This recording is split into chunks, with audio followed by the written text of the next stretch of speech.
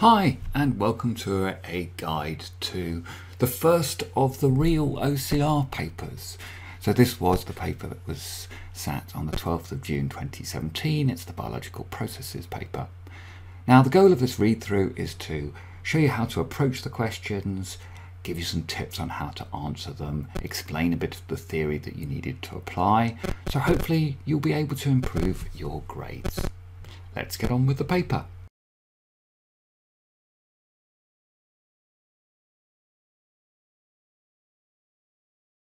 The paper begins with 15 multiple choice questions. First one, which of the options A to D correctly describes how an endotherm would respond to an increase in temperature? So an endotherm obtains its heat from within, hence endo.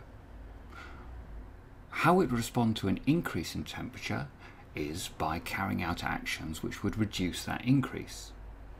Now options B, C and D the erector muscles contract, causing the hairs to stand up, would cause more insulation, hence less heat loss. Rapid contractions of skeletal muscles would cause an increase in the temperature. And the sweat glands releasing less sweat would cause the loss of less heat through less evaporative cooling because you've got less sweat. So the option a, which is dilation of the arterioles near the surface of the skin, that would cause a greater blood flow through the surface of the skin, through the capillaries, which would lead to an increase in heat loss.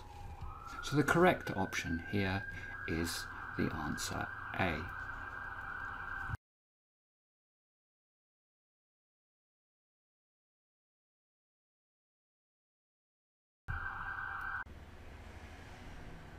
So which of the images A to D correctly summarises photosynthesis? There's an easy way to get to this answer, which is to look at where the wrong answers are. So A refers to reduced NAD, which doesn't get used in photosynthesis. So does B.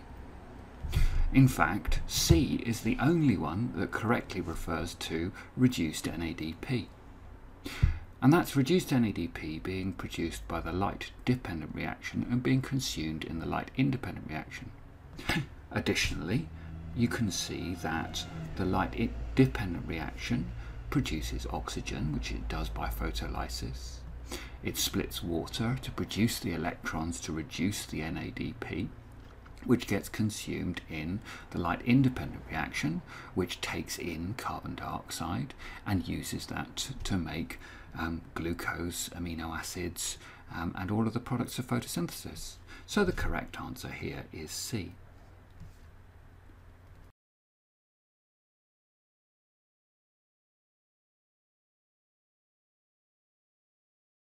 So a student counted stomata on a leaf using a light microscope. The image below shows the stomata that were visible. They ask you to work out which of the options A to D is the correct stomatal density for this leaf. Remember that magnification equals image over object. Now the magnification is 60 times. You need to work out the size of the object and what you need to work out is the height and the width in order to give you the area. So this is where you need to get out your ruler and you need to measure the height which is some 75 millimeters and the width which is about 100 millimeters. It'll vary depending on the size in which your image has been printed. Then you need to divide by the magnification. So you need to divide 75 by 60, which gives you 1.25 millimeters. And you need to divide 100 by 60,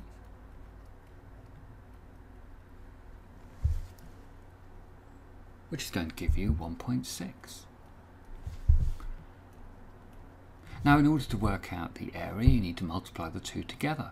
So you do 1.6 times 1.25 which gives you an area of 2 millimeters squared. Now the next thing to do is to count these stomata. Now I've counted these and I reckon there are 17 stomata here. So how many are there in 1 millimeter? it's 17 divided by 2 to give you the answer in millimetres squared. So the closest answer here would be A, that of 7.5 stomata per millimetre squared.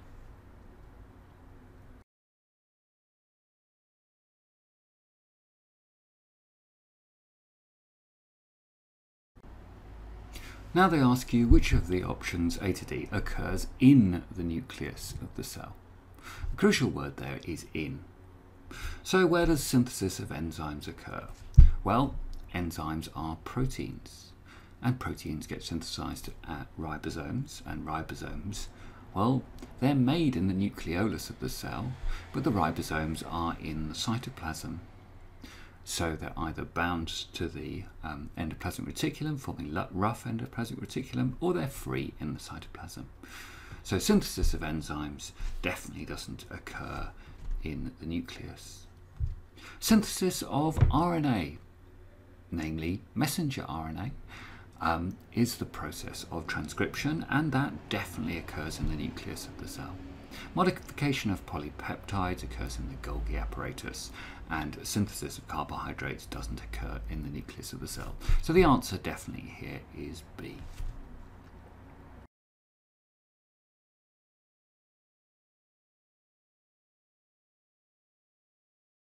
So this question asks about the differences between mitosis and meiosis in the number of chromosomes before, during and after different types of cell division.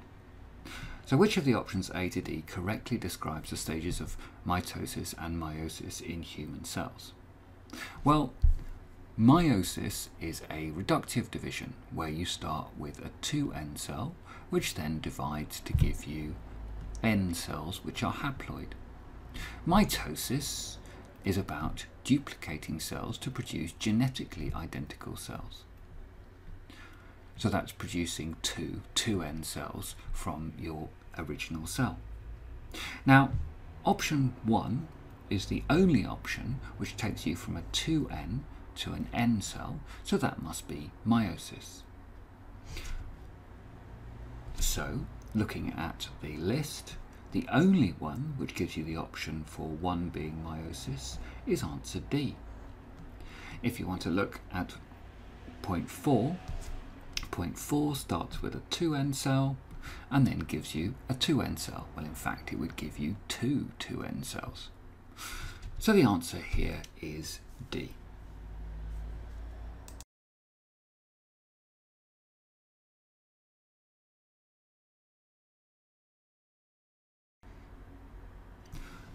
So patients with kidney failure can be treated in different ways. Which of the following statements describes a feature of peritoneal dialysis? Now, peritoneal dialysis is where you put dialysing fluid into the a gap in your abdomen and you use the peritoneum which is the membrane covering the intestines you use that as your dialysing membrane. So in peritoneal dialysis urea and mineral ions pass from your blood across the peritoneum into the fluid which you've put into your abdomen. So that's definitely true of peritoneal dialysis. However, blood passing over an artificial membrane to remove toxins is hemodialysis. The hemo is blood. And the patient receives immunosuppressant medication is how you would treat someone following the transplant of a kidney. So the only answer that's correct here is D.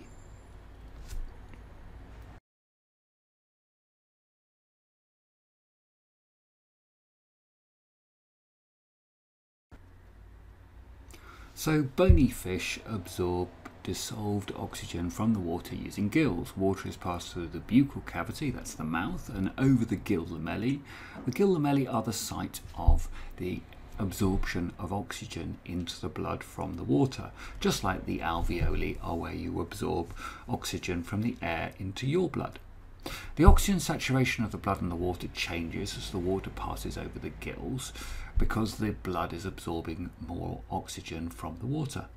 So which of the statements A to D correctly describes the way oxygen is transferred into the blood at the gills?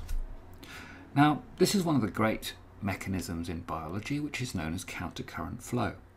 And countercurrent flow has the water flowing in one direction and has the blood flowing in the opposite direction. Now this means that blood that's coming from the body of the fish has a low level of oxygen in it because the oxygen's been used in aerobic respiration. Now as it flows in the opposite direction to the flow of the water, then it's always encountering water with more oxygen in it than is in the blood. So that as you move along the gill, the oxygen always diffuses from the water into the blood because the blood's flowing in the opposite direction. So it's always encountering water with more oxygen in it. So the which of the statements A to D correctly describes the way oxygen is transferred? Option A gives you water and blood flow in a concurrent system. Well, that's definitely wrong. Water and blood flow in a countercurrent system, so that could be right. C, again concurrent, that's definitely wrong. And D, countercurrent. And then the other options is does it have a greater concentration gradient between them at the start of the gill lamellae or does it have a constant concentration gradient? Now the point of countercurrent flow is that it maintains a constant concentration gradient between the water and the blood so that oxygen is always diffusing out of the water into the blood because the water is always encountering blood with less oxygen in it. So the answer here is B.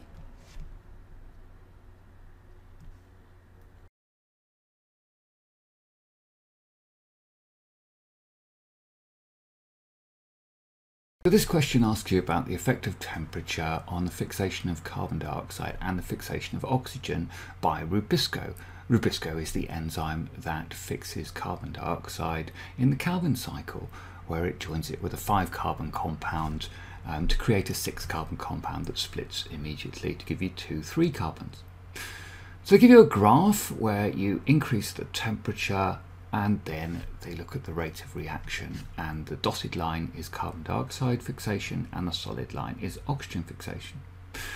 Now it asks what are the correct percentage changes in Rubisco carbon dioxide and oxygen fixing activities between 30 and 40 degrees. So the only points you need to look at here are between 30 and 40 for the two graphs.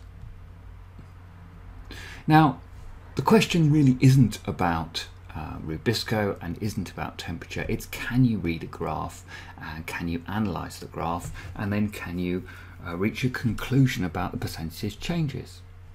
Now, there's two ways of doing this. Either you could read off the um, activity from the rate of reaction, or you could have a guess. So first of all, looking at the carbon dioxide fixation, we can see that, well, there's not much. In fact, there's a slight decrease. So the slight decrease in CO2 fixation, and it looks like it might be about 1 or 2% going down. And if you look at the oxygen fixation, well, we've got about this much difference, and it's about 1.2, 1.3, and that's compared to this difference, the starting value here, which is about 2.6. So you're thinking, well, it's about 1.3 over 2.6, so it's just over, um, it's about 50%, or maybe just over 50%, depending on how you read it off from the graph. So looking at the choices that they give you, A, B, C or D, first one that's going to leap out at you is C because that's got a slight decrease in carbon dioxide um, fixation, about minus 2.4%. That looks about right. And then it's got an increase of 54% in oxygen fixation, which again looks about right. So we're going to go for C, and that means we can then move on to the next question.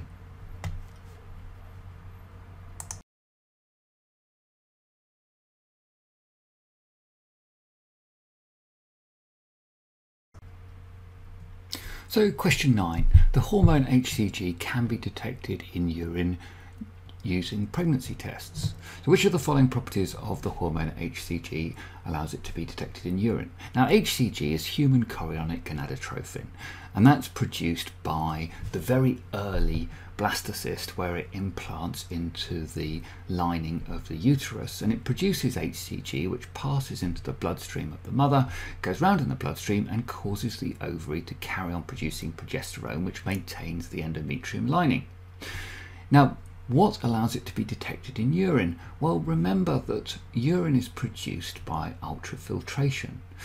So the property that allows the hormone HCG to be detected in the urine is the fact that it's got a relative molecular mass of less than 69,000 because that means that it passes across from the glomerulus into the Bowman's capsule.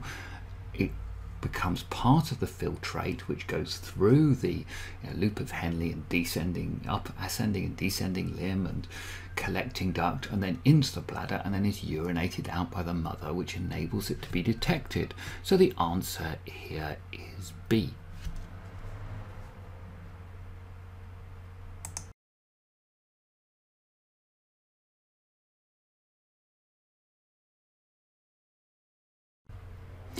So the hormone ecdysone is synthesized in the prothoracic glands.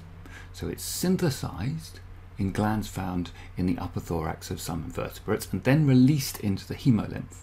It's then transported to cells near the surface of the body and causes the loss of the exoskeleton so that a new exoskeleton can form. Now this is a hormone you've never heard of the question is not about the hormone, it's about the nature of hormones. So which of the following statements explains how ecdysone is able to act on cells near the surface of the body when it's produced in the prothoracic glands which are found in the upper thorax? Well, the fact that it's synthesized by some specialized neurosecretory cells is interesting, but it doesn't explain how it's able to act on cells near the surface of the body. What does is that it's soluble in the hemolymph because it's a polar molecule, therefore it's soluble and can be transported around in the hemolymph, and it's then complementary to cell surface receptors on cells throughout the body, therefore causing them to lose the exoskeleton. So the correct answer here is C, that only two or statements 2 and 3 explain how it's able to act on cells near the surface of the body.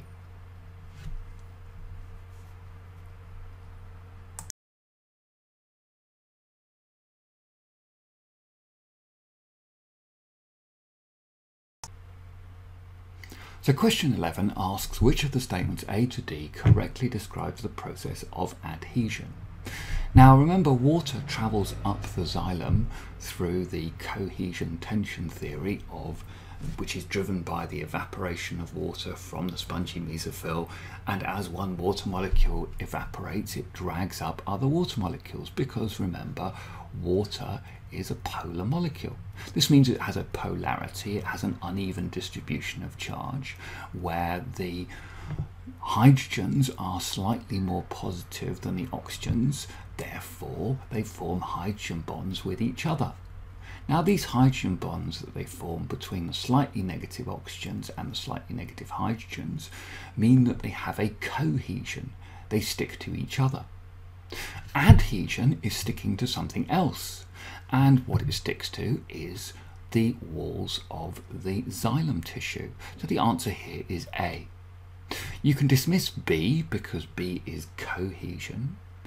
C and D refer to the phloem tissue, which is not where water is transported in plants. So the correct answer here is A.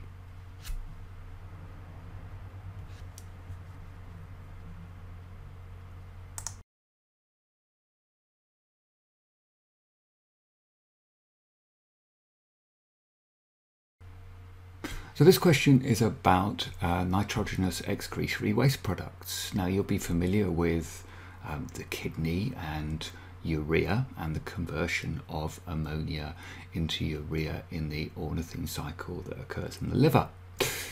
So they show you the structure of the nucleotide base guanine. So this is a purine base and it's got lots of nitrogen in it. You can see the nitrogens that are here. So bird droppings are known as guano because they contain a high proportion of guanine. Unlike mammals, birds excrete nitrogenous waste as guanine instead of urea. Guanine is synthesized from ammonia in the liver, a similar way to the synthesis of urea that you're familiar with.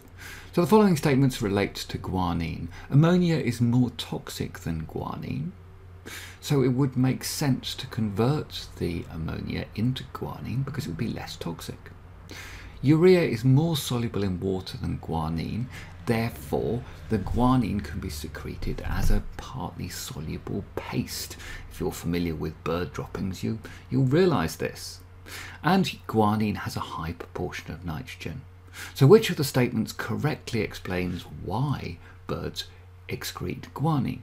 Well, they'd want to excrete guanine because the ammonia would be more toxic, the urea would require more water. The guanine has a high proportion of nitrogen. So the answer here would be A.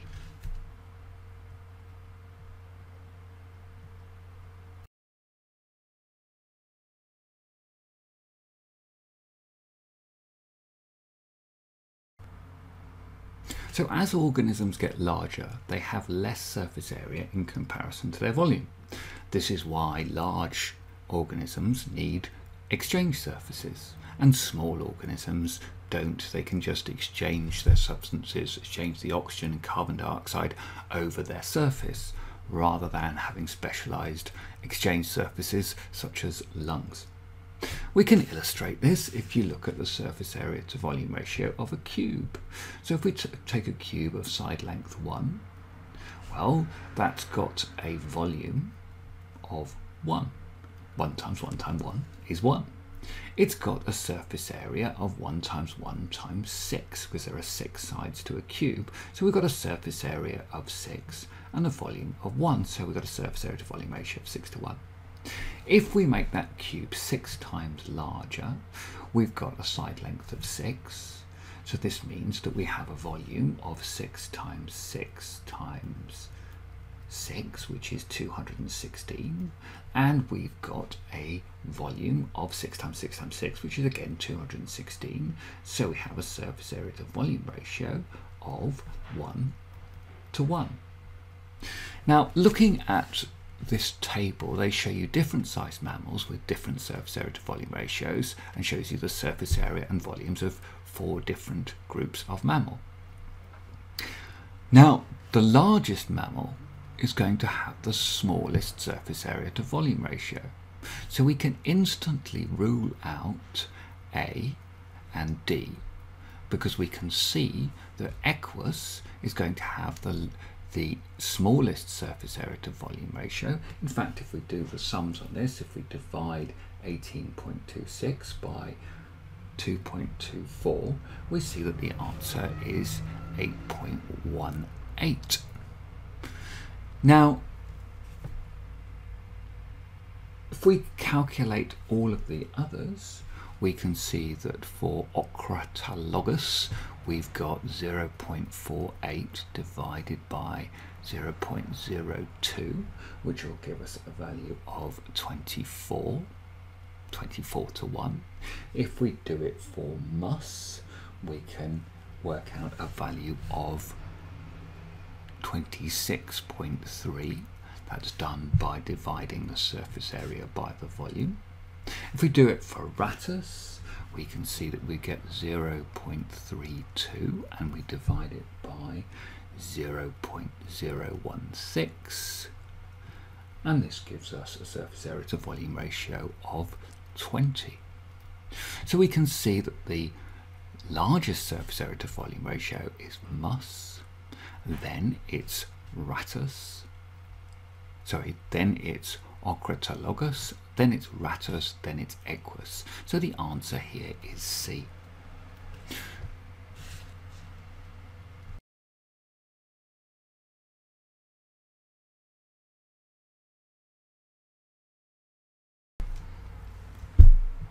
The commercially grown tobacco plant has many pests. One such insect pest is Manduca sexta, which causes damage to the stems and leaves of Nicotiana rustica, which is the tobacco plant.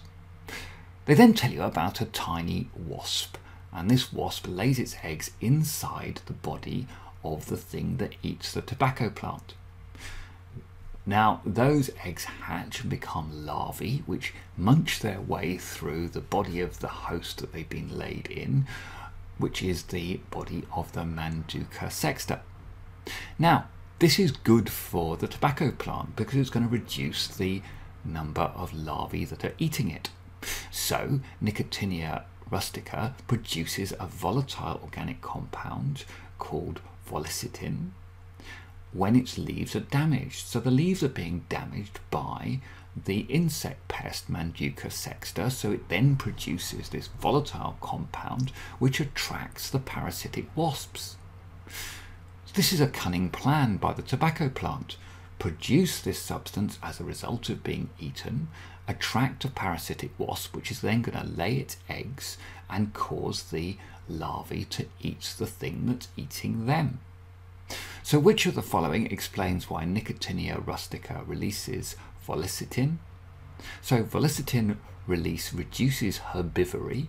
Herbivory is being eaten, if you're a plant, in Nicotiana rustica.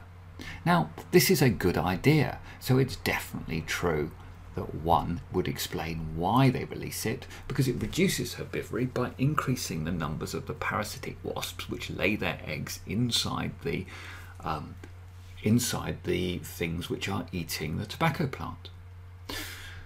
Point two, volicitin release increases Manduca sexta growth rate. Now, this doesn't explain why they'd release it, so why would you release a substance which would increase the growth rate of the thing that's eating you? So we're not keen on point two. And Volicitin release reduces parasitism of Manduca sexta by uh, Cotesia congregata. Well, that's not the case because they've told you that it attracts Cotesia congregata at high concentrations. So of these statements, we're not keen on two or three, so this rules out A, B and C, which leaves us with the only correct answer that is D.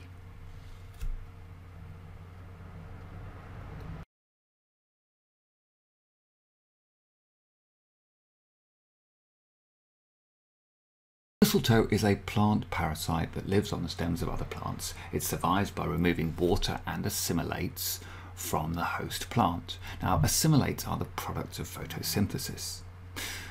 The mistletoe binds to the stem of the host plant and grows a specialized root-like tissue called a haustorium that attaches to different tissues in the stem. Now, one species of mistletoe contains no chloroplasts. What do chloroplasts do? Chloroplasts carry out photosynthesis, produce triose phosphate that is then used to make know, amino acids and glucose and fats and everything that the plant needs that has carbon in it. Now, how does the mistletoe survive? Which of the options A to D explains why Viscum minimum does not need chloroplasts? The, the options they give you are that the haustorium of viscum minimum attaches to sieve tube elements. Now the sieve tube elements carry the phloem. The phloem has the products of photosynthesis in it. That would make sense so that the haustorium is causing is allowing the mistletoe to take the products of photosynthesis, the phloem, from the sieve tube elements. Therefore, it doesn't need chloroplast because it's taking the sugars and amino acids from the um, plant that it's parasitizing. Other options they give you are that it attaches to the xylem vessels. Well, that wouldn't explain why it doesn't need chloroplasts. It attaches to the meristem or the cambium. Again, these tissues are not carrying the sugars. So the haustorium attaches to the sieve tube elements. The sieve tube elements are carrying the sugars in the host plant, and therefore the answer here is A. Now, this question, you really don't need to know anything about mistletoe, you don't need to know anything about parasitism. What they're asking for is where are the sugars carried? Because if it doesn't need chloroplasts, it needs to get the sugars. How does it get those sugars? It attaches the, the to the sieve tube elements, and you know that the sieve tube elements carry the phloem, so the answer here is A.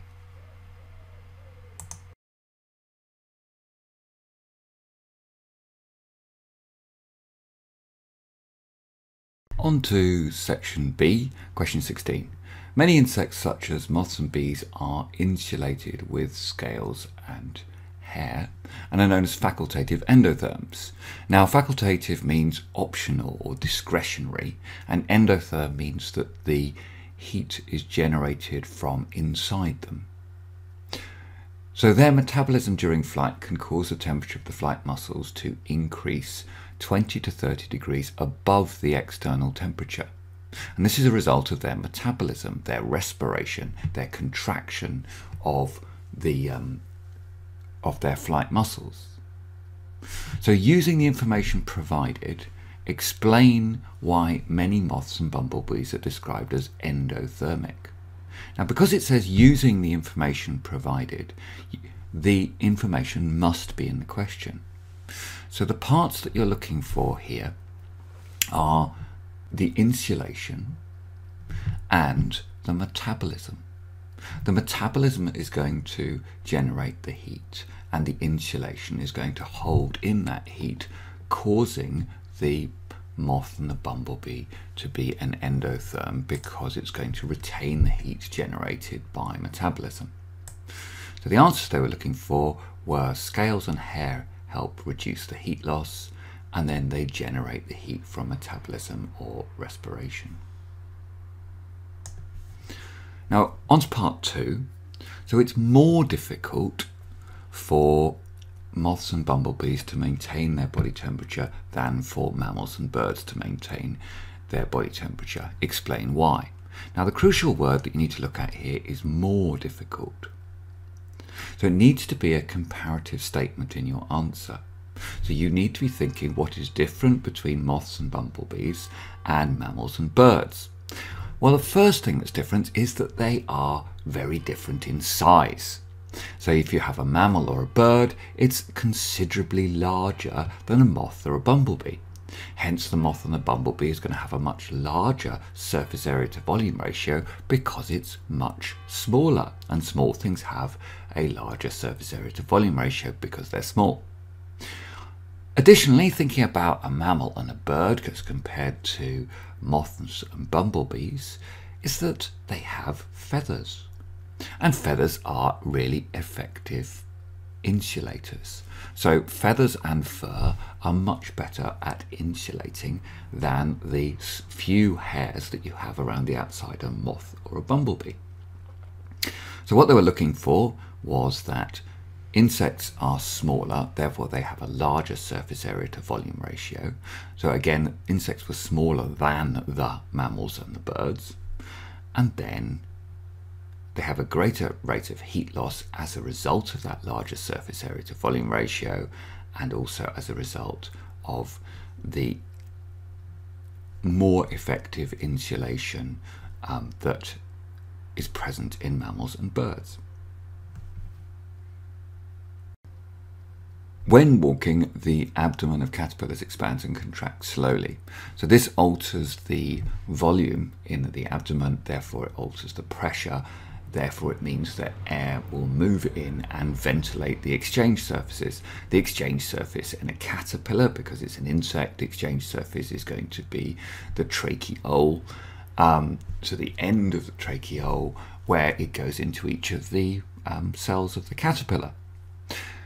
Um, that surface needs ventilation, which is the movement of the respiratory medium, which is the air over the respiratory surface. So one of these holes is labelled in 16, um, figure 16, so they very helpfully show you the hole, and here it is.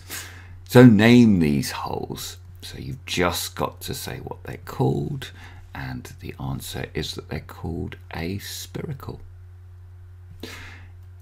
Now, fluid is found in the tubes responsible for gaseous exchange in insects. So this fluid is in the end of the tracheole and the tracheole goes into a cell and there is fluid in the end of it. And this fluid is just water.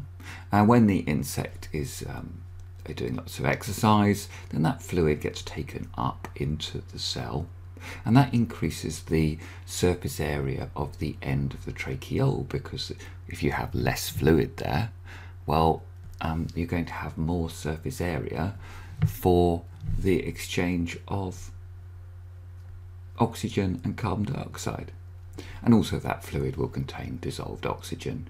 And when the insect stops flying, then it's going to fill up again with fluid. So name this fluid that's in the end of the tracheole. It is tracheal fluid. Then outline the reasons why insects and other animals need well-developed transport systems. So important bit here, well-developed and insects and other animals. Now, you've got to take care when answering this question what they're looking for here is that you have a high demand for metabolism because they're expending a lot of energy. Therefore, they need a lot of oxygen. Just move this up a bit. Now, diffusion will be too slow because there, it, there are too many layers of cells to diffuse through from the surface to where the oxygen is being consumed.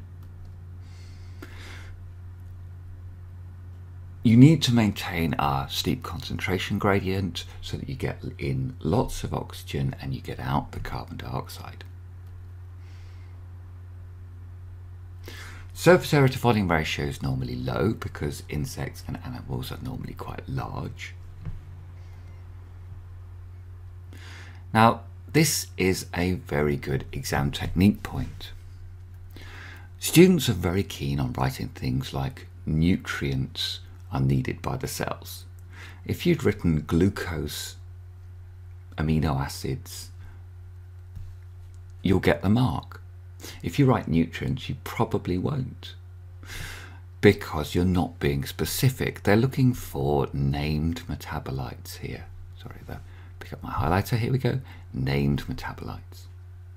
And they're looking for named waste products. So if you said the cells need to have the waste removed, you wouldn't get the mark. But if you'd written, say, carbon dioxide or urea needed to be removed, then you would get the mark.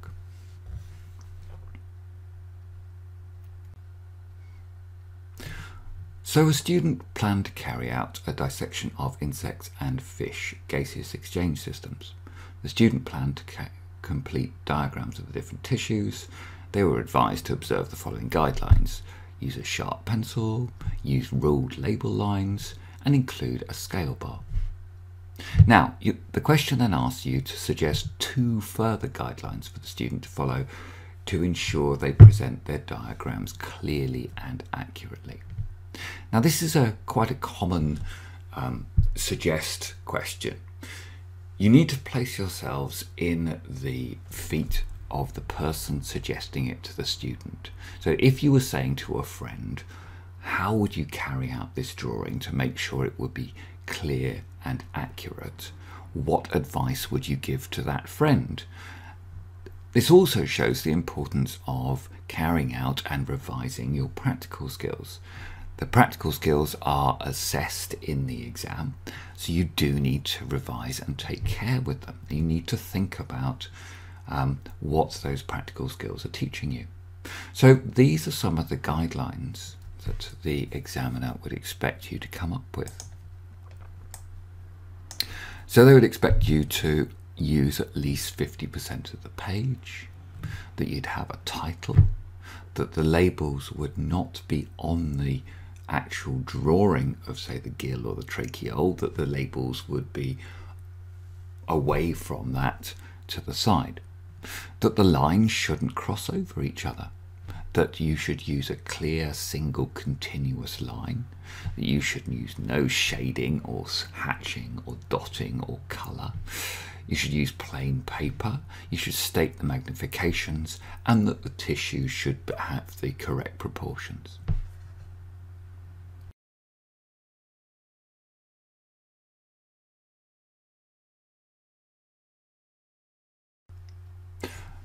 So, cirrhosis of the liver can result from long-term liver damage. Alcohol or other toxins can cause this damage. Scientists have suggested that cirrhosis can be detected by taking samples of bodily fluids and testing them for two different molecules, which are the C-reactive protein and the copeptin. The liver produces these two molecules and increased levels can indicate liver damage due to cirrhosis. Different bodily fluids from a patient su suspected of having cirrhosis were tested for C-reactive protein and copeptin. They show you a graph and you can see that they took the bodily fluids from the blood, saliva, urine and feces and they tested them for the two different um, compounds so they have tested them for copeptin, which is shown in the filled in boxes, and then the C reactive protein, which is the not filled in. They express this as a bar chart, and on the left hand axis, they have the concentration of the molecules, and it's going up in orders of magnitude. So 1 times 10 to the 1 is 10 1 times 10 to the 2 is 100. 1 times 10 to the 3 is 1,000. 1 times 10 to the 4 is 10,000. And so on.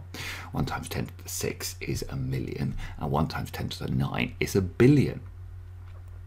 So what's the difference in the order of magnitude of the concentration of the copeptin in the feces compared to the concentration of C-reactive protein in the saliva. Well, concentration of copeptin in the feces is 1 times 10 to the 9, so that's a billion. And in the saliva, the concentration of C-reactive protein is 10, so 1 times 10 to the 10. So 1 times 10 to the 1.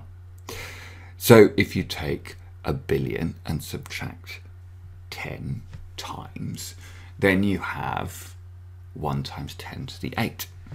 So the answer that they were looking for here was the difference in order of magnitude is some 1 times 10 to the 8.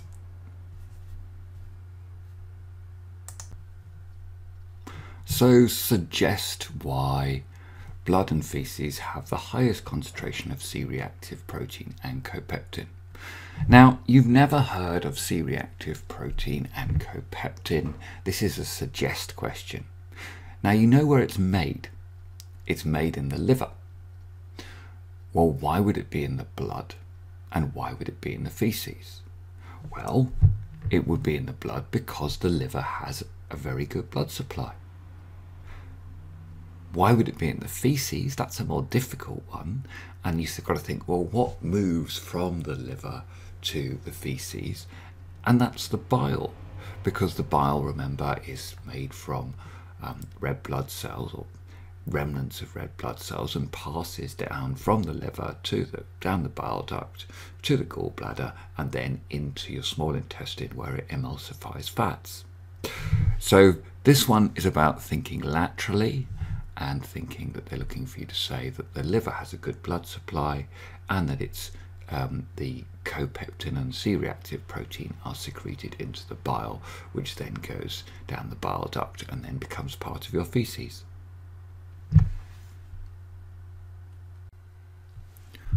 So figure 17.2 is an image of a Kupffer cell from the liver. The diameter of the Kupffer cell in the image is 9.1 centimeters. So this is the size of the image. The actual picture is 9.1 centimeters. Assuming it's spherical, calculate the actual volume of this cell and then give the answer to four significant figures and show your working. Most important thing about this picture is that they have given you a scale bar at the bottom.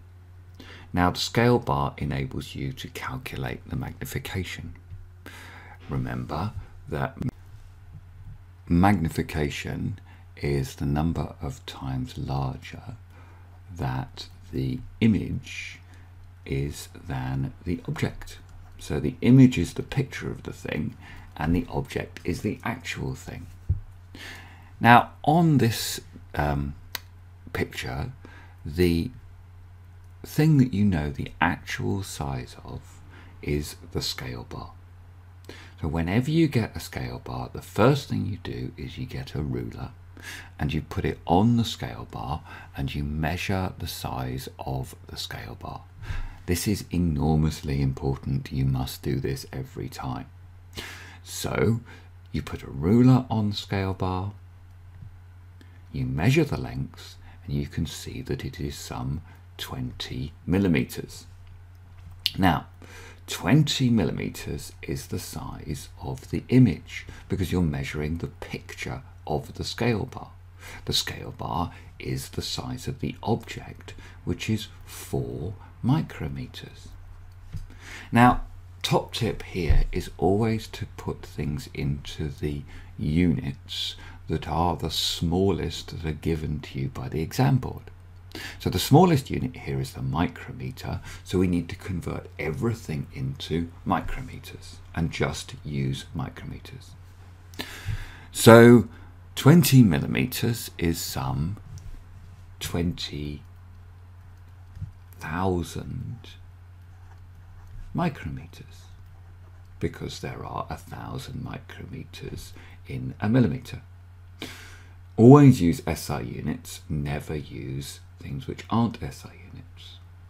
And we divide by 4 micrometers. And this gives us a magnification of 5,000. So we've now worked out the magnification of the drawing by measuring the scale bar and dividing by the size of the scale bar. Now we've got to take an image size, which is 9.1 centimeters, and we know the magnification, which is 5,000. And we need to work out the object size to work out the actual diameter of the Kupffer cell. So we need to rearrange this equation. So we need to take 9.1 centimeters and divide by 5,000. Now, remember my advice was always use the smallest units that are shown to you by on the question. So we need to convert 9.1 centimeters into an SI unit, which is 91 millimeters. And then we need to put that into micrometers, so we have 91,000. And then we take that 91,000 micrometers and divide by the magnification, which is 5,000. And this gives us an answer of 18.2 micrometers. So we've now calculated the actual diameter. We know that the actual diameter is the image size divided by 5,000, which gave us an actual diameter of 18.2 micrometers. So having calculated that, the next step is to turn that actual diameter into a volume. So we need to then think what is our equation for the volume of a sphere, and that is 4 over 3 pi times r cubed. So we've now got the diameter, which was 18.2, so we need to divide by 2 to give us our radius, and the radius is 9.1 micrometers. So we then need to take um, the radius and then put it into that equation and multiply to give us 4 thirds pi r cubed, and this gives us an answer of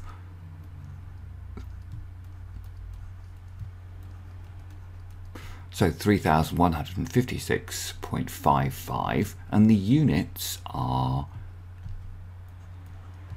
micrometers cubed because remember we've calculated a volume here.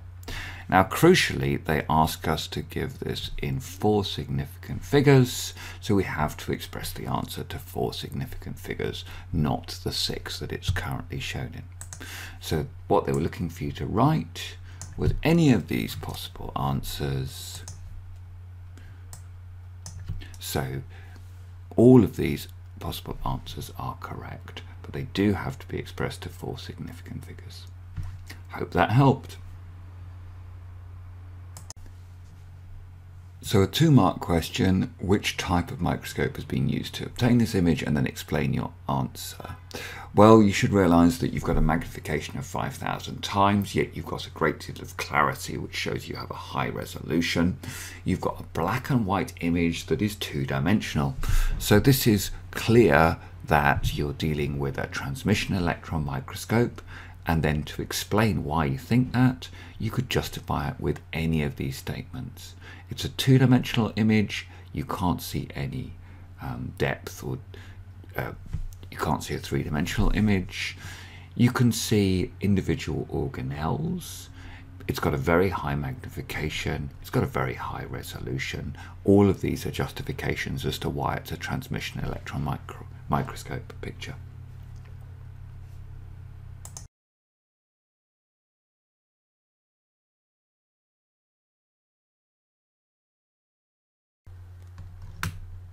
So light intensity, carbon dioxide concentration and temperature are all limiting factors in photosynthesis.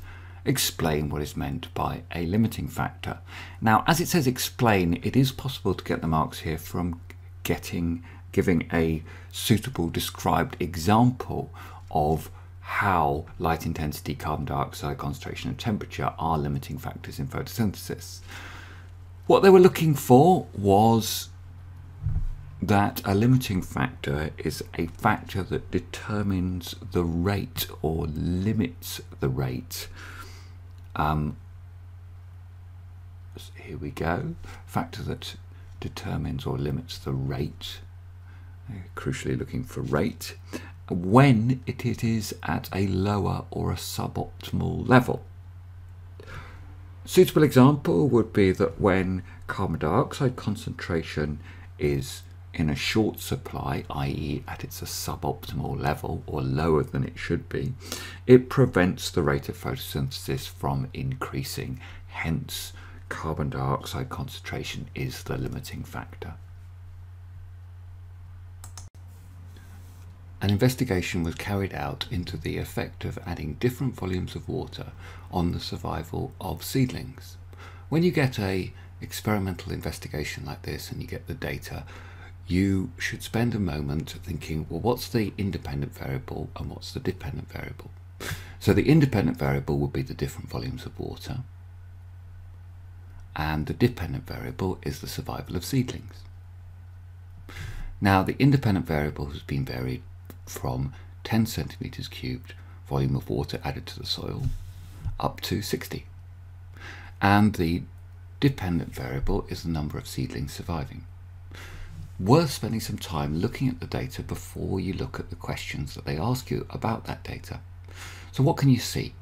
You can see that when you add 10 centimeter cubed volume of water, the number of seedlings, well, they almost all survive. After 18 days, you have 57 seedlings surviving.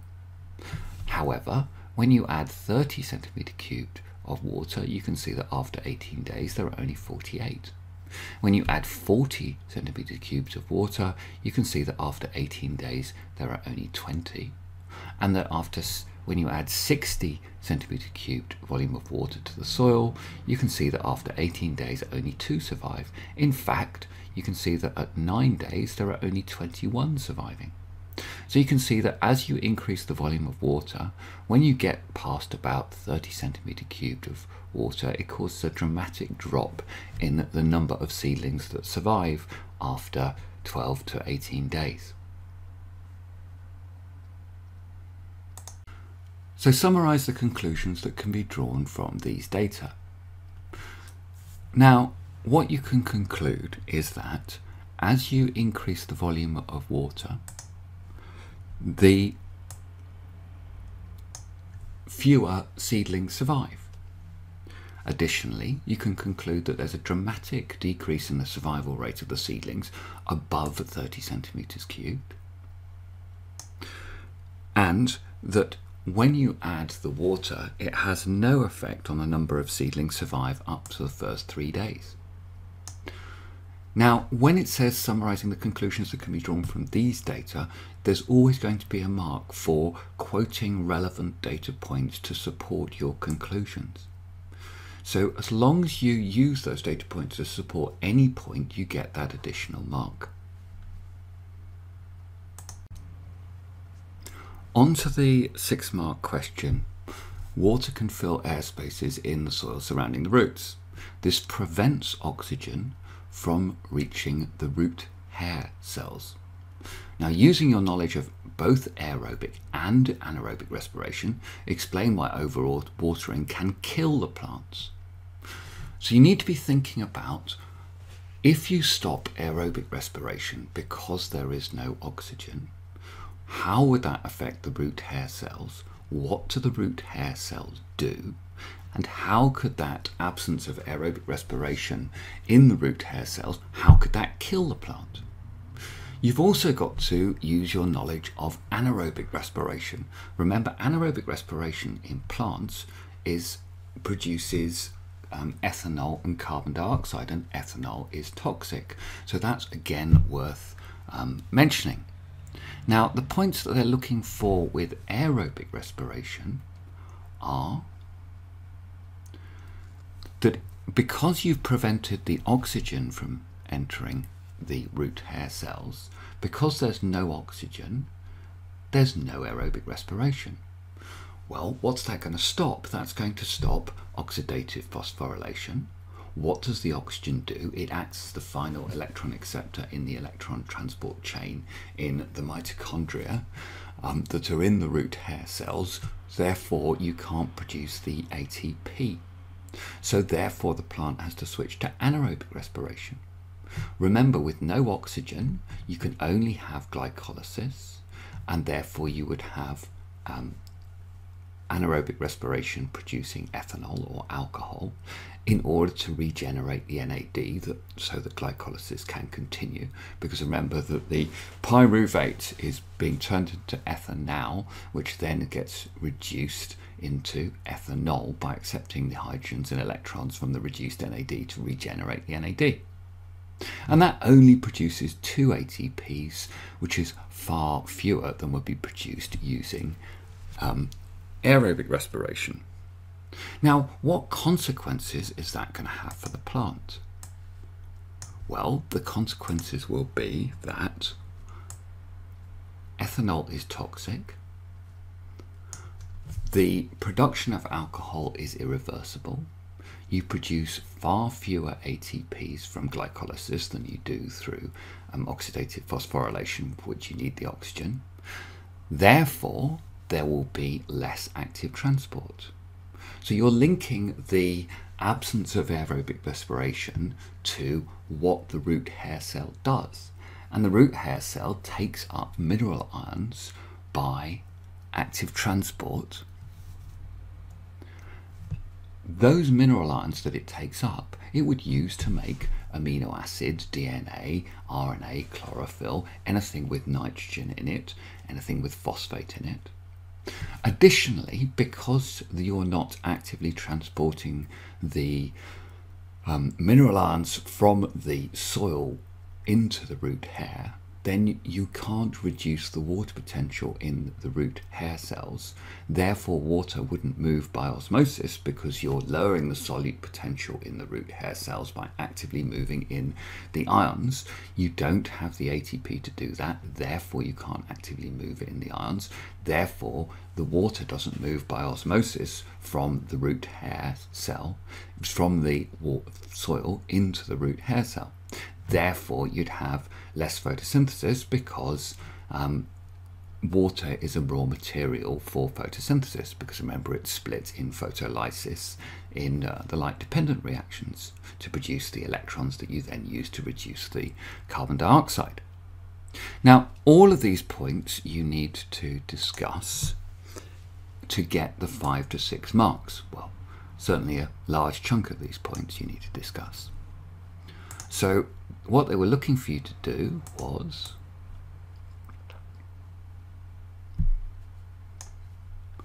just move this across a bit more. Make a detailed scientific statement about aerobic respiration and a detailed scientific statement about anaerobic respiration and a consequence to the plant as a result of overwatering. So you're trying to say, well, why does the plant do aerobic respiration in the root hair cells? What's the consequence of that aerobic respiration not occurring because you've overwatered it, therefore denied the oxygen to the root hair cells?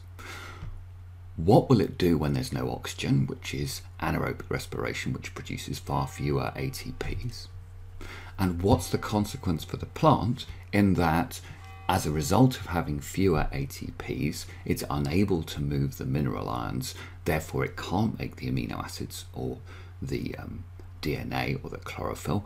Therefore, it can't get the water to come in because it's not, not lowering the solute potential in the root hair cells. Therefore, the seedling dies.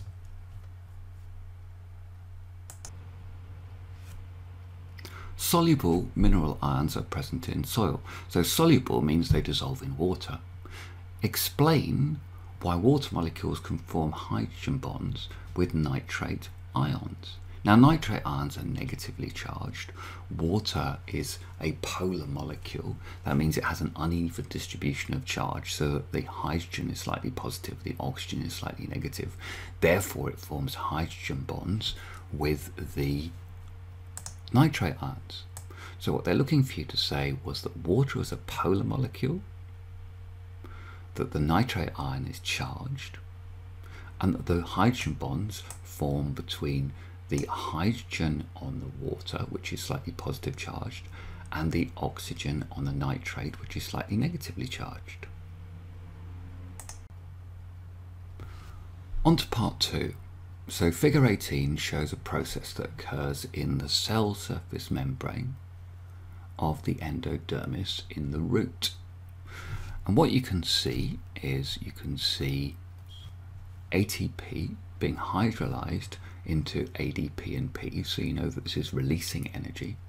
And the energy is being used to move these mysterious hexagons from where there are few hexagons here to where there are lots of hexagons here. And that's into the endodermal cell across this thing here, which is the phospholipid bilayer. And the hexagons are moving through a protein carrier. Now the hexagons are moving from where there are few to where there are lots, so they're moving against their concentration gradient, which is why they require the use of energy, the hydrolysis of the ATP. Now it says explain how the events shown cause water to enter the endodermis. So you've moved solutes across the phospholipid bilayer from where there are few to where there are more. So you're causing there to be more solutes inside the endodermal cells. The presence of the more solutes will lower the water potential of the cell. So you will get water moving by osmosis into the endodermal cell.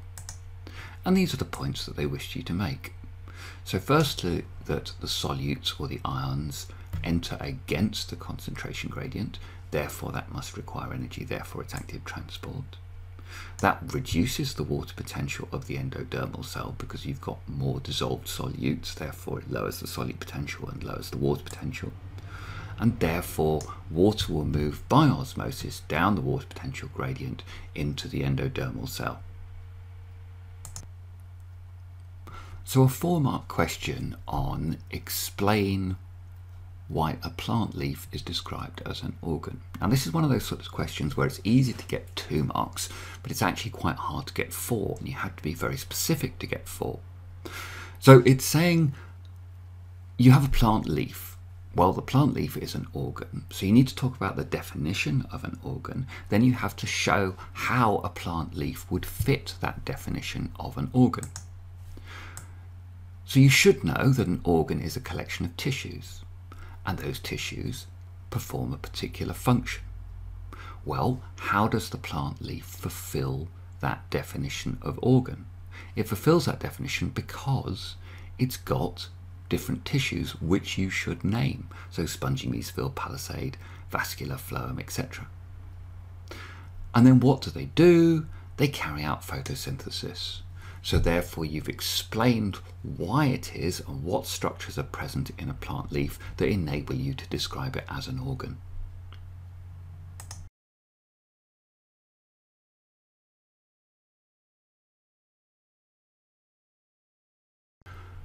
So sperm cells in animals are formed by a process known as spermatogenesis. Figure 19.1 is a summary of the process of spermatogenesis. So we've got the original cell which has four chromosomes in it. Now in process A we've doubled the quantity of DNA but the quantity of chromosomes remains the same.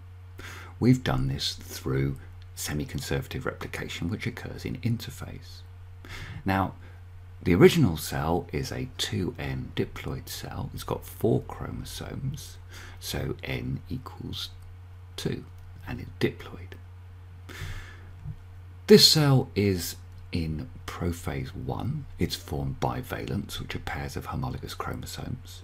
And then this cell is at the end of the first division of meiosis.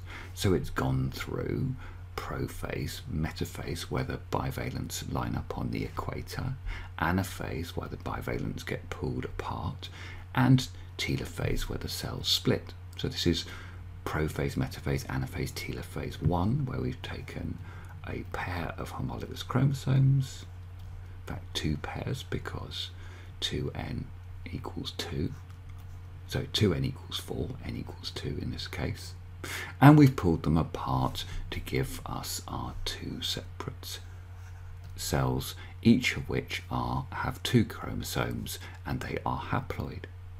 So these are now N cells, they contain two chromosomes. Now each of those cells then goes through the mitotic part of meiosis.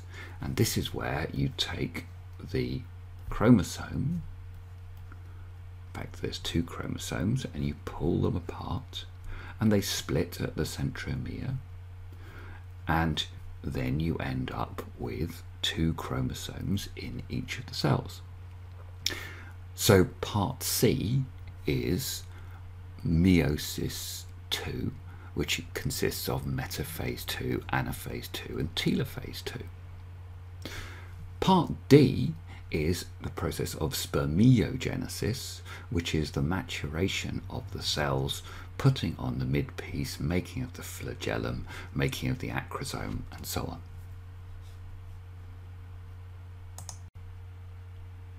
Three phases of meiosis are listed below. Match each phase of meiosis to a letter on figure 19.1. So metaphase 1 occurs during the stage labelled B, because you've got metaphase, anaphase, telophase 1, and that takes a homologous a pair of homologous chromosomes and then separates those homologous chromosomes so you end up with one of each of the homologous chromosomes in each of the two daughter haploid cells. So metaphase 1 occurs during the stage labelled B. So telophase 2 is taking the chromosome, pulling apart the chromatids, splitting the centromere, and telophase 2 occurs during the stage labelled C. And anaphase 1 occurs when the um, homologous chromosomes, the bivalents, are pulled apart in meiosis 1, so that occurs during stage labelled B.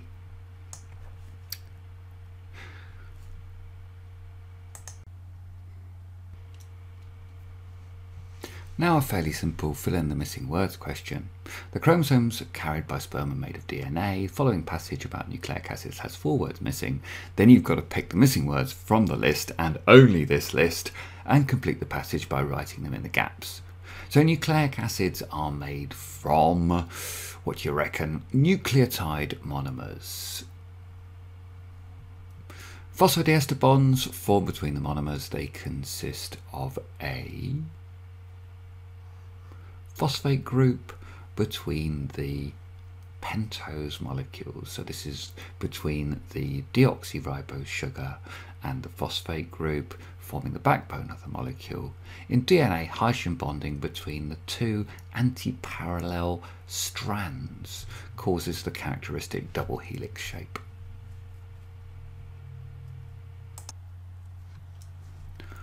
So figure 19.2 is a transverse section of a sperm cell. The mitochondria of the sperm cell form a spiral around the central flagellum.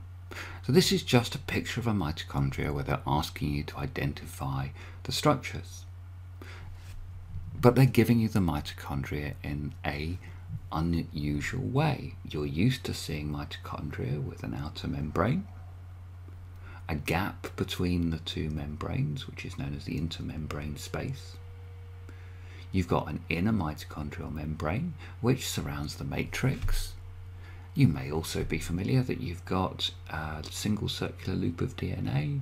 You might have some ribosomes, and you might even have some stalked particles, which is the ATP synthase part of oxidative phosphorylation. But they're giving you in an unfamiliar context, which is a challenge to some students. So identify the structures labelled with the following letters. So what's U? Well, U is the mitochondrial matrix. What's W? Well, W is the cristae or the inner mitochondrial membrane. The cristae is part of the inner mitochondrial membrane, it's the infoldings. And then what might be Z? Z is the intermembrane space, which is the gap between the inner and the outer membranes, where you build up the proton gradient um, from the flow of electrons along the electron transport chain, and then those protons flow out through ATP synthase going into the matrix, and that generates the ATP.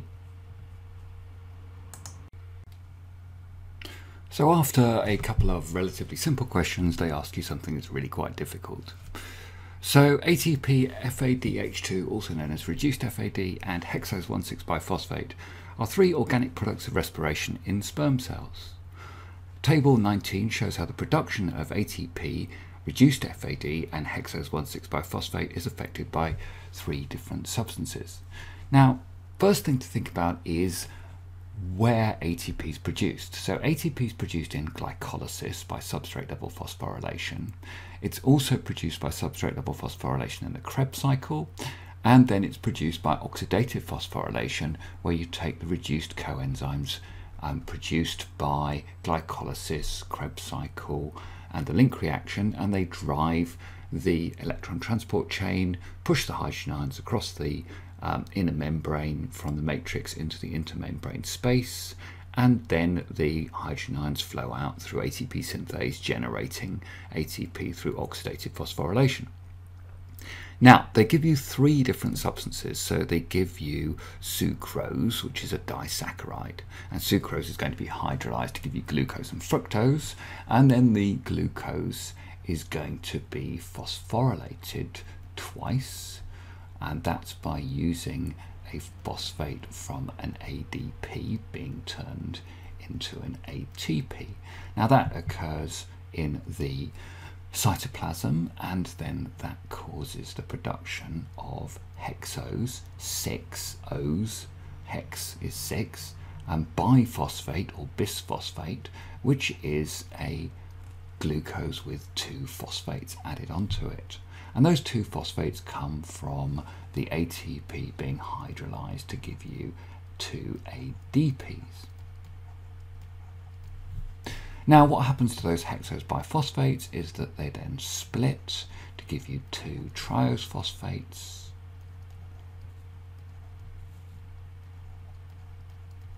And those two triose phosphates then produce two ATPs each through substrate level phosphorylation, which is how you produce your net gain of 4 minus 2.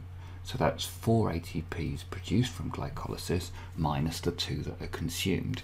And that produces the pyruvate, which then passes into the matrix of the mitochondrion and then goes through the link reaction and Krebs cycle. So with sucrose, we make ATP. We also make reduced FAD because that's made in the Krebs cycle.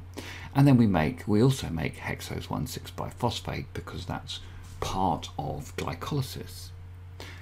Now when we add cyanide, you can see that with cyanide you still produce ATP, you produce two and a half, um, what's that, 10 to the minus 10 moles per second.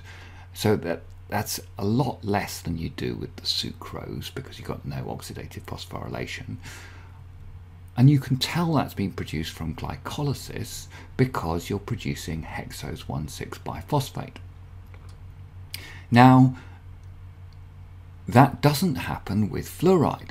So with fluoride, we get the production of no ATPs, we got no reduced FADs, and we have no hexose 1,6 biphosphates. So what conclusion can we make about the differences between cyanide and fluoride? Well, we can say that with fluoride, it stops glycolysis, link reaction, and Krebs cycle because there's no hexose 1,6 biphosphate, so it must be stopping the process that phosphorylates the glucose to form hexose 1,6 biphosphate. Additionally, there's no FAD produced. Whereas with when we add cyanide, we can see that there's no FADH2 produced, so there must be no Krebs cycle. And there is hexose 1,6 biphosphate produced, therefore the ATPs produced when you have cyanide must have come from glycolysis. So what can be concluded about the difference between the effects of just cyanide and fluoride on respiration in sperm? This is only a one mark question, but because it's a difference, it needs to be a comparative statement. So you need to say cyanide this, whereas fluoride that. And what they're looking for is that cyanide is going to stop aerobic respiration, whereas fluoride is going to prevent anaerobic respiration because you've got no production of the hexose 1,6 biphosphate, which is a crucial part of anaerobic respiration because anaerobic respiration is just glycolysis with a different way of regenerating the NADs.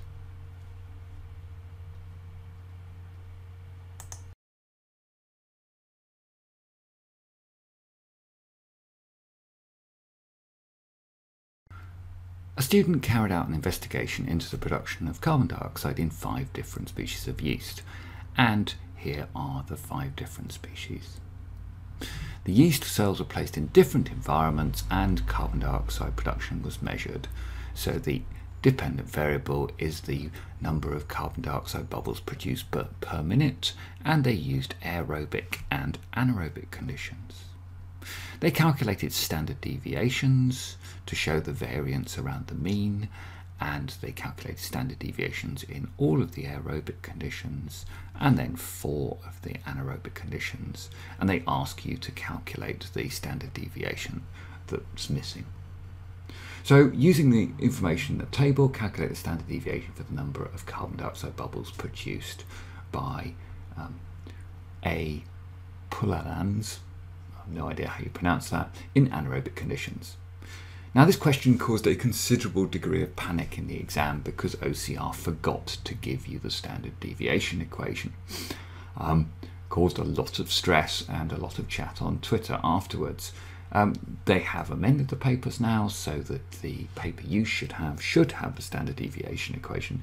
You don't have to know it, they do have to give it to you. It's not one of the equations that you need to know. You need to know things like volume of a sphere, surface area of a circle and of a sphere, but you don't need to know the standard deviation equation um, off by heart. You do need to know how to calculate it. So looking at that equation, we need to see that standard deviation is the square root of the sum of a value minus the mean squared divided by n minus 1 and then the whole thing square rooted. So the first step we need to do is to calculate the mean. And the mean is 30.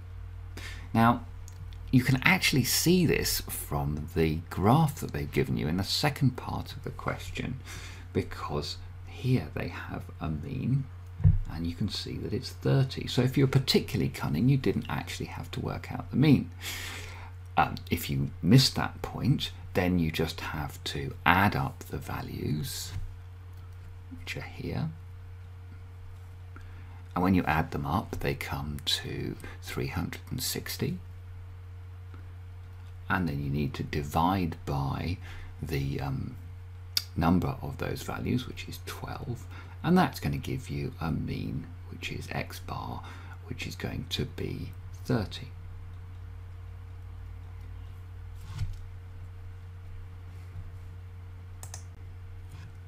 So what do you do next? Well, next you have to subtract 30 from all of the values. So you need to do 34 minus 30, 36 minus 30, 29 minus 30, and I'll work these out and put these next to them. Then you're going to have to square the difference between the value and the mean. So you're going to have to take 4 and square it. That's going to be x minus x bar squared. So that's going to give you 16. So having done x minus x bar squared, we then need to do the next part, which is to add together x minus x bar squared. Up here we can see the symbol, this symbol like this means add these values together. So we add them all together and we get 232.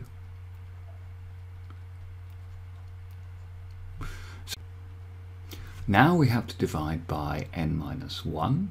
So we've got n is 12, so n minus 1 is 11. And that's going to give us 21.09. We then need to square root that value.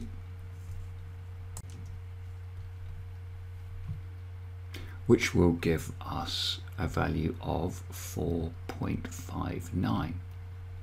Now, being careful with this, it says, or being careful with the final answer, it says give your answer to one significant figure. So we've got to round this to the nearest number in order to give it to one significant figure and the nearest is 5. So the answer is 5.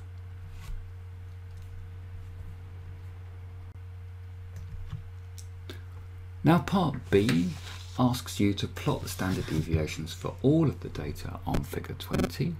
So you need to take the standard deviation for this one and you need to then go and plot it so we we need to plot one standard deviation above and one standard deviation below so the standard deviation under under aerobic conditions is 4 so we need to go from 21 and we need to plot go down 4 and plot a line and then we need to go up 4 and draw a line and then we need to do the same for the anaerobic conditions, which is 2. We need to go up 2 and down 2. And we need to repeat that for them our two marks. So calculate the mean percentage change in carbon dioxide production for Cerevisiae when moving from anaerobic to aerobic respiration and then give your answer to four significant figures. So we can see that under anaerobic conditions it's got a uh, carbon dioxide production of bubbles per minute of 13 and under aerobic conditions it's 21 so the difference is 21 minus 13 which is 8 and then we have to divide by the original, which is 13. And this gives us an answer of 0.61538 and so on, which we then have to multiply by 100 to give us a percentage. And then we have to turn it into four significant figures, so we have to take the 61.8538 and we have to come up with the correct answer which is 20 sorry 61.54 then onto part D So the student drew the following conclusions. All of the yeast I investigated produced more carbon dioxide during aerobic respiration than anaerobic respiration. Now this is incorrect because it's certainly true of these yeast species, but of one yeast species you can see that it produces more carbon dioxide whilst respiring anaerobically than it does respiring aerobically. So the first statement is incorrect because one yeast species produces more carbon dioxide under anaerobic conditions. The second statement, there is a significant difference between the carbon dioxide production in aerobic and anaerobic conditions of albidus. Now, is it significant? There's certainly a difference. We can see the difference here. But if you look at the plot of the standard deviations, we can see that the standard deviations overlap. And because they overlap, we can say that that statement is incorrect because the standard deviations overlap. Therefore, we can't say there's a statistically significant difference between the values for aerobic and anaerobic respiration. So the student found the following definitions of errors in a textbook.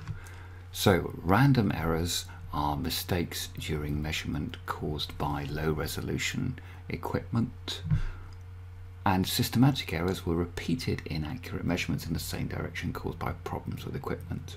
So which type of error is suggested by the student's data and then justify your answer? Well the type of error that they have here is of a random error because there are large standard deviations in the experiments. Now, anaerobic respiration in yeast cells requires enzymes. Which organelle is responsible for synthesizing these enzymes? Well, enzymes, remember, are proteins, and the organelle responsible for synthesizing proteins is ribosomes.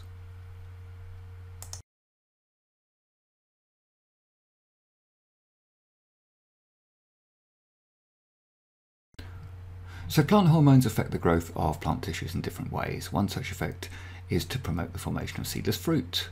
So cytokinins are a group of plant hormones. A commercial, and that's quite important that they're a commercial, uh, plant hormone firm carried out research into three different cytokinins. Now, the firm investigated the effect of adding different volumes they don't tell you how much. Of each cytokinin, they don't say whether they're adding the same volumes of each cytokinin on the production of seedless fruit. They were sprayed on the flowers of different plants. Over time, the mass of the seedless fruits produced by the plants was measured. And they show you a summary of the results. So you can see that as you add kinetin, the mass of seedless fruit harvested goes up. If as you add zeatin, again it goes up. And then as you add dietin, the mass goes up.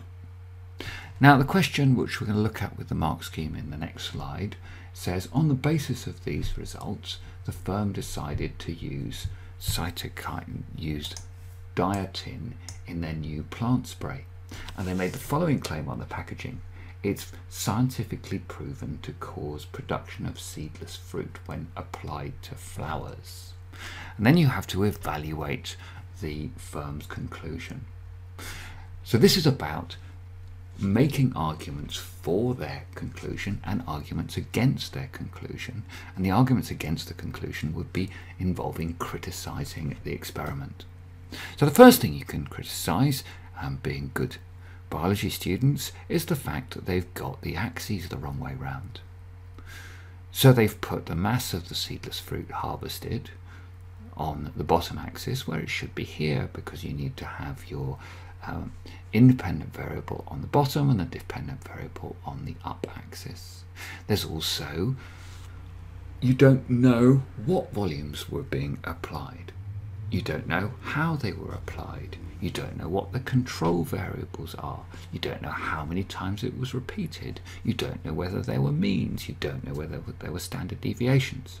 So there's a whole morass of different um, things you can criticize. And we'll look at that in the mark scheme on the next slide. So Diotin is scientifically proven to cause production of seedless fruit when applied to flowers. And then you have to evaluate the firm's claim. Evaluate using the evidence. Now, evaluate means look at arguments for and arguments against, and then look at the validity of the evidence that they have used. So for level 3, which is 5 to 6 marks, you need to make a statement in support, and you need to make a statement against and you need to make more than one comment on the validity of the claim. Alternately, you can make one in support, more than one statement against, and a comment on the validity. And then you need to have a well developed line of reasoning which is clear and written in A level language. So let's have a look at some of the indicative scientific points that you could have had. So the supporting claims would be as the volume of the um, diotin, the plant hormone used, as the volume increases, the mass of seedless fruit increases. But against, we can have all of the points that we raised in the previous um, slide, which is there's no scale, that the axes are the wrong way round, that there's no error bars. You should be expressing it as a percentage increase, Correlation does not mean causation. There's a lack of objectivity. Now, remember, they said this was a commercial um, plant hormone company, and the company is selling the product based on those claims. Now, the issues with validity are issues with the experimental design, and does the experiment actually um, test what it's setting out to test? And those that they're trying to get you to think about here is that they haven't told you a method. They haven't told you what species of plant is being used. They haven't told you what variables are being controlled. They haven't told you the concentration. They didn't tell you how they controlled temperature and carbon dioxide concentration, which should have been the control variables for the growth of the fruit. They didn't tell you where it happened. They didn't tell you the soil type or the availability of minerals. They didn't tell you the availability of water. They didn't tell you light intensity. They didn't say whether there were pollinators or not, because remember, to have a fruit, you need some form of pollination and doesn't tell you about um, how this would produce seedless fruit. Didn't tell you about weeds, pesticides, herbicides. There was no control group to compare it to. Maybe it would have um, produced seedless fruit if you just sprayed um, water on the plants. There's no evidence of any repeats. Let's move up a bit. And there's no consideration as to how the hormones might interact with other processes. Now, you won't get another question where you have to compare plant hormones on the production of seedless fruit, but you will get questions on evaluating claims, evaluating data. So remember with evaluation, you're looking to make a claim in support and a claim against sorry, a statement in support of the claim and a statement against the claim, and then you need to talk about the validity of the um, data and the validity of the experiment that was used to create that data.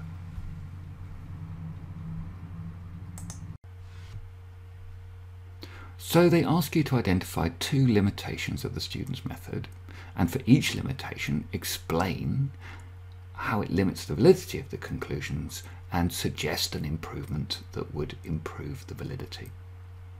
So you need to read this method, which is an investigation into phototropism in cress seeds, and you need to think at each point, what are they doing wrong, applying the principles of good experimental design.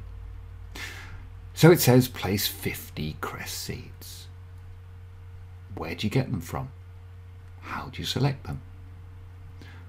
Water with 10 centimeter cubed of still water, repeat for three different sets of seeds. Set one in a box, placed in a box to prevent light shining on the seeds so they're in the dark. Set 2 is placed in a box with light only from above. And set 3 is placed in a box with light from the right hand side only. Now, they've only done one of each set, so there are no repeats. Keep all three sets at 25 degrees, and then after 72 hours, remove 20 of the seedlings. How do you select those seedlings? It doesn't say. And then count how many have bent. How do you judge whether they're bent or not. How do you judge the degree of bentness? So then you need to identify two limitations of the method, explain how it limits the validity of the conclusions, and then suggest an improvement. So let's have a look at some of the possible suggestions. When you're reading through this and looking at the mark schemes, constantly be thinking about the principles that are important here in good experimental design. So the first one, light intensity. You don't control light intensity. You don't say the size of the hole in the box. Why that's important. Different light intensities could lead to variations in the phototropism. Selection of the seedlings. The 20 that were selected, there's no method for selecting them at random, so you could end up with biased results. The improvement would be that you should have some concept of random selection. Degree of bending, well that doesn't get considered, um, so it's not possible to reproduce the experiment because you're not defining what is a bent seedling or not. You could measure the angle of the bend.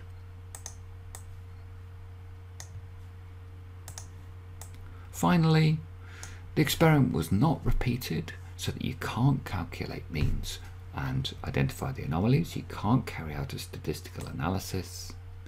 So the improvement would be to repeat experiment at least twice. You also don't control the size of the dish, so you don't control the spacing of the seeds. They might have different access to light, and how would you improve that? You would specify the size or diameter of the Petri dish into which you put the cress seeds.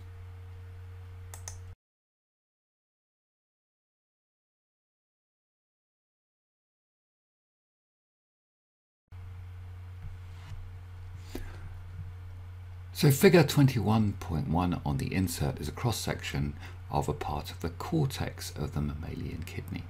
So which letter identifies the region with the highest hydrostatic pressure? So having a look, this is the glomerulus and the Bowman's capsule. We've got something that here that could be a proximal convoluted tubule or a distal convoluted tubule. And then with D here we've got a gap between the um, basement membrane. So this is probably the Bowman's capsule where we've got the glomerular filtrate being squeezed out and it then goes down the proximal convoluted tubule. And C is a blood vessel supplying blood to the glomerulus. So which letter identifies the region with the highest hydrostatic pressure? So the principle they want you to think about here is that you've got an afferent arteriole and then you've got an efferent arteriole. And there's a difference in diameters between the afferent and the efferent arteriole, and that achieves the hydrostatic pressure in the glomerulus that forces the um, forces the blood against the basement membrane, and then that forces the uh, glomerular filtrate through into the Bowman's capsule, where it then passes into the proximal convoluted tubule. So the, the region with the highest hydrostatic pressure is going to be in the glomerulus, so it's going to be region A. Now, which two letters identify regions that do not contain plasma proteins? Now, plasma proteins are in the blood, so that they would be coming through the um, glomerulus, but they would be too large to be pushed across the basement membrane. So they remain in the blood and go out through the efferent arteriole, which then ends up um, in the um, vein um, going out of the kidney. So which two letters identify regions that do not contain the plasma proteins?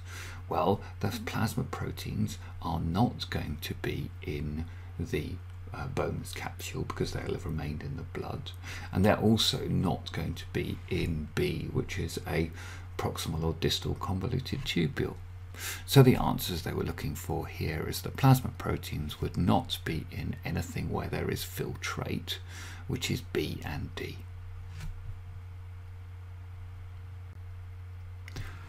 Studies of the cell surface membrane of the distal convoluted tubule provided the following evidence. You've got sodium potassium pumps that move potassium ions from the blood into the tubule fluid and move sodium ions from the tubule fluid into the blood. So this is the classic sodium potassium pump. We're going to be using ATP, we're going to be using co-transport, so you're going to be moving one ion one way, one ion the other way. You're going to be moving the potassium ions out, sorry, the sodium ion out, the potassium ions in, and you're going to be driving this with the hydrolysis of ATP to ADP. So this is an active transport process. This happens in the proximal convoluted tubule, and they've told you that there is evidence of a sodium potassium pump in the distal convoluted tubule. Then they tell you about a um, sodium calcium cotransport protein, which moves calcium ions from the tubule fluid and moves sodium ions into the tubule fluid and then uses the electrochemical gradient of the sodium ions to drive this process. So using this information and your own knowledge, compare the processes occurring in the proximal and the distal. So when you're asked to compare, you need to say the similarities are because, and then the differences are because. So it needs to be a comparative statement. So both of them use active transport, both of them use co-transport, both of them absorb selectively, and both of them use the use of sodium ions to drive that process. Differences? Well, differences is that the distal convoluted tubule uses calcium ions. Um, Co-transport in the distal convoluted tubule only uses ions, whereas the proximal convoluted tubule has ions and glucose and amino acids and all of the things that you want to reabsorb from the proximal convoluted tubule that were small enough to pass through the basement membrane into the Bowman's capsule and then go down the proximal convoluted tubule, and then you want to reabsorb those things. Nephrogenic diabetes insipidus is a disease of the kidney that affects regulation of water potential in the blood. One causes lithium poisoning. Lithium ions enter the kidney tubules through sodium ions. This prevents the cells of the collecting duct from responding to ADH in the blood. So this prevents the cells of the collecting duct from responding to ADH. So this question is about ADH and collecting duct cells. Now state and explain one symptom that you'd expect to observe. State and explain. So say what the symptom is and why that would happen. Now, when you get a question which has a disease that you've never heard of or a situation you've never heard of, this tells you that the question is not about the disease. The question is about the principles of what that disease does. So it says this prevents the cells of the collecting duct from responding to ADH. Well, what does ADH do? ADH is antidiuretic hormone. It's produced by your pituitary gland. It goes round in the bloodstream and then it binds to receptors which are on your collecting duct cells. Now, it binds to the receptors. It's a small peptide hormone. It's nine amino acids, and it causes a change, uh, a secondary messenger cascade inside the collecting duct cells. And you have vesicles, and those vesicles have embedded in them, they have aquaporins. And as a result of the presence of ADH, the vesicles move to the um, collecting duct membrane become part of the collecting duct membrane, which increases the number of aquaporins that are in the collecting duct membrane. Now, the collecting duct membrane is against the filtrate, so the filtrate is passing down the collecting duct. When we increase the number of aquaporins, means that there are more protein channels through which water can travel into the collecting duct cell and then into the peritubular fluid and then into the blood. Now, if we stop the cells of the, of collecting duct from responding to ADH, then there will be fewer aquaporins. If you have fewer aquaporins, you will absorb less water from the filtrate as it goes down the collecting duct.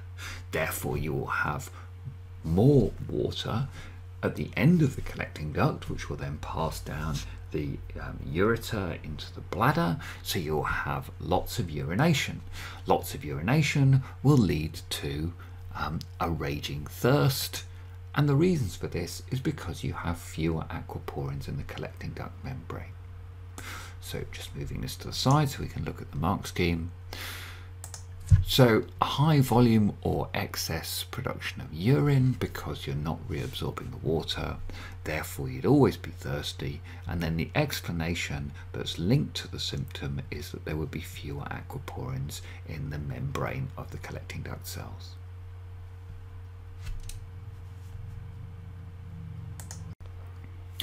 So figure 22.2 shows a podocyte from the kidney. The many gaps between the microscopic processes form fenestrations.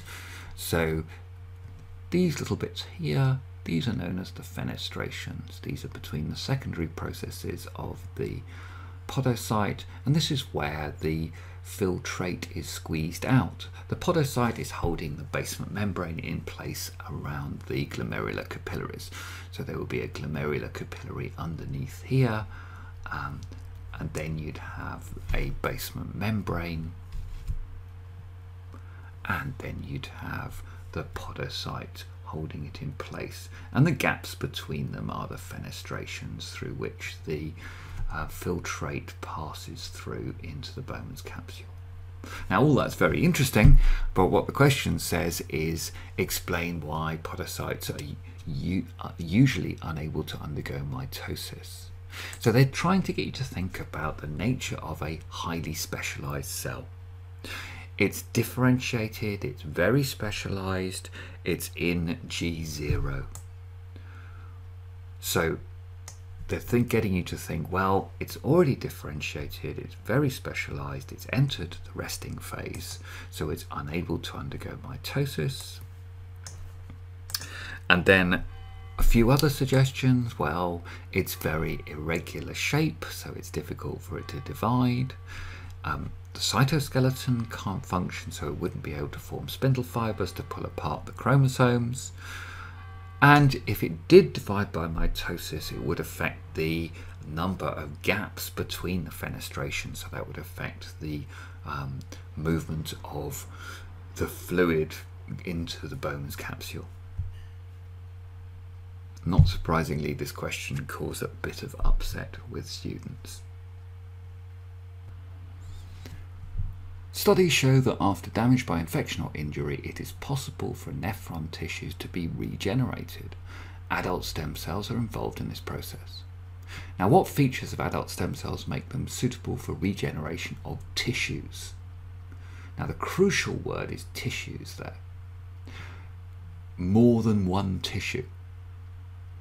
So what they're looking for here is for you to comment that adult stem cells are multipotent and multipotent means that they can differentiate to become any type of cell within one particular organ. So you have multipotent kidney cells which can form all of the cell types within a kidney which makes them suitable for the regeneration of tissues in plural. Now we've finally reached the end of the paper. I hope it's helped with your understanding. Good luck with your exams and thank you for streaming this.